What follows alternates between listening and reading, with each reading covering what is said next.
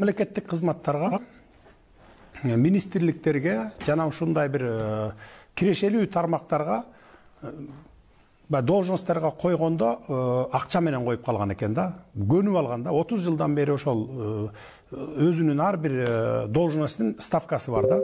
Ошону менен коюп көнүп калышкан мына болуп турганыма бир он күн боло элек менин жакындарыма мисалы уулума чыгып туруп мына үч жүз миң доллар бере коелу баланча жерге кое кой мени деп чыккандар болуп атат мынакей элүү миң доллар берели түкүнчө жерге мени кое кой деп чыгып атышат да мынакей алардын баардыгын биз жок кылып таза мамлекетке айлантабыз деп атабыз бул менин айтайын дегеним мына отуз жылдан берки орноп калган коррупция. Булар баягы ойлоп атат окшойт жакындары аркылуу ошо акчаны берип эле мурдакыдай жумушка турабыз деп. Мындан ары андай болбойт.